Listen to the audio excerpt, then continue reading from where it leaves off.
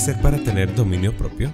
Para tener dominio propio debes orar a Dios y ayunar, porque con el ayuno el Señor te va a perfeccionar.